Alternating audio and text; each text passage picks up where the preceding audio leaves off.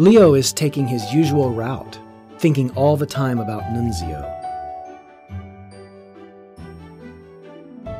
Leo lets her mistake hover in the air over his bed.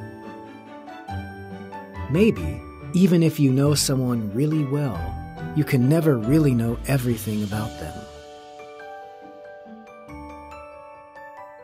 The show must go on, and go on it will.